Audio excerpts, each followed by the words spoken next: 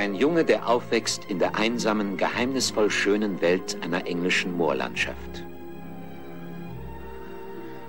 Mark Lester, der Star aus Oliver, in einem Film, der so beglückend ist wie eine große Liebe.